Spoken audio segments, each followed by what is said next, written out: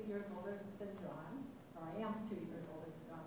And then my parents had um, four boys, and two of which are twins, also men. Um, But when I was, John and I were uh, young, um, I really questioned his intelligence. Because, because I was older, I was obviously smarter, right? So I was six and he was four. And he told me his birthday came before mine. And I said, that can't be. Because I'm older. So his birthday was April eighteenth. Mine was June sixteenth. There you go. Right. There you go. He was right. Yeah. So from then on, when my parents explained to me that the calendar started in January, and April was the fourth month, and my birthday was in the sixth month, I know, I knew then that I could not compete with his abilities. So I- now I'd like to introduce you to Paul Stamets, my youngest brother. Well, thank you, everybody. Um, John had a huge influence on all of us, and a story that I realized um, that Lilly shares with me is that we grew up in a small town in Ohio, and it was a fairly large house, but we had a fully equipped laboratory in the basement. And it also influenced my sister Lilly. Um, but it was three rows of chemical shelves, and we had an aircraft carrier with the Intrepid radio, so we listened behind the, uh, the Iron Curtain. My dad served on that aircraft carrier during World War II. But John was a serious scientist. He was, uh, I wanted to blow things up, and he was always, you know, interested in making different reactions and testing the outcomes. So John went on to Yale, my brother Bill went on to Cor- Cornell, my sister went on to Ohio State. But that impressed me. I was always amazed at John's intelligence. He was a very, very, I think most people here would agree, he was a very smart person. And um, so John's influence uh, as, it was huge on all of us. Um, and we all recognize that John was the smartest, you know, kid in our family by far.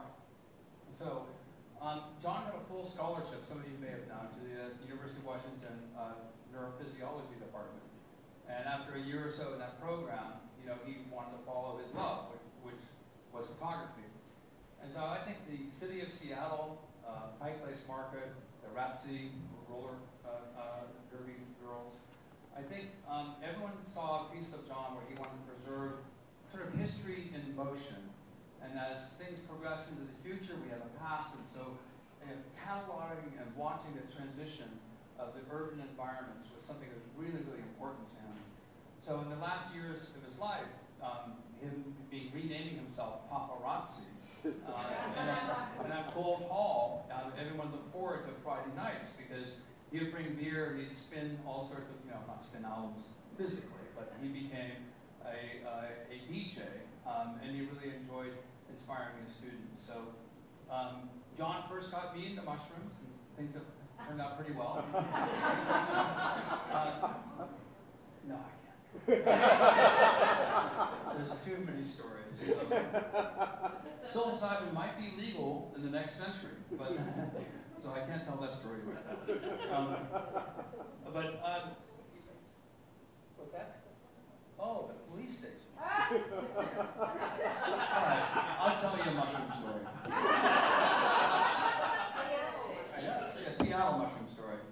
So um, John went down to Mexico and Colombia. He ate magic mushrooms. He came back with the extraordinary stories.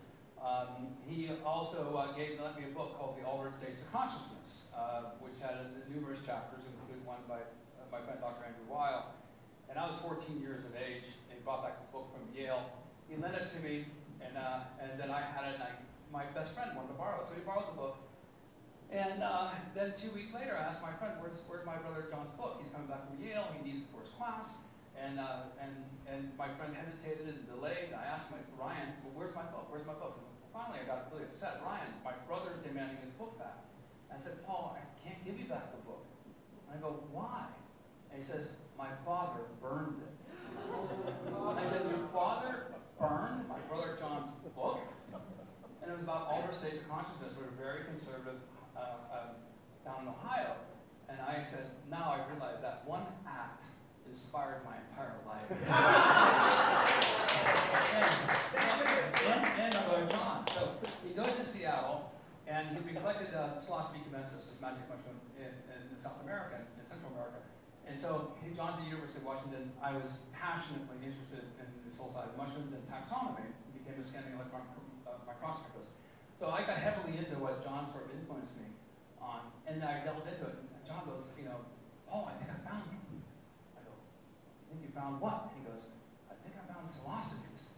And I go, listen, John, I don't identify mushrooms over the phone, but let me ask you a few taxonomic questions. And I said, does it have a purple brown spore print? He goes, yes. I said, does it have a separable gelatinous pellicle, little skin that you pull up like that? He goes, yes. I said, does it turn blue?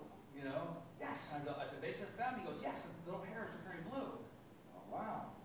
John, you just kind of passed all the critical questions here. How many do you find? He goes, you won't believe it. and that's all I said. Up here right away. So I drive up to Seattle, and he goes, okay, we have to be really careful. And I go, why? And he goes, it's across from the police station. so it became known as the Great Boat Street Patch. And at the end of Boat Street, right there with the police substation, right in front of the police substation, there's an eruption of Psilocybe stuntzii, named after University of Washington professor Daniel Stuntz. And it was an eruption of 10,000 to 50,000 mushrooms. So amazing was this eruption that that it raised trash and cans, Coke cans were elevated. So John, John and I go down there on, on our bikes, and we have uh, grocery sacks. And said, okay, we got to do this quick, right? So police cars go away, the police cars in, kind of watching out for each other. Okay, let's do it, you know? So boom, we started picking as many mushrooms as we could. And we had, you know, two other friends with us. We had like six or eight shopping bags full of. And then you University of Washington students were walking by, what are you doing? Well, nothing. and then 10 or 20 other people were involved, and so we ended up uh, picking the species, which was at that time not known. But that collection that John turned me on to made it into what's called the holotype, defining a new species named after Dr. Daniel Stuntz called Psilocybe stuntzii. So anyhow, that was that's one of my